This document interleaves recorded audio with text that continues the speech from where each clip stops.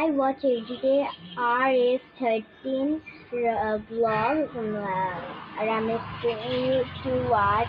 He's so uh, uh, he's so good videos. I love RS13 vlog.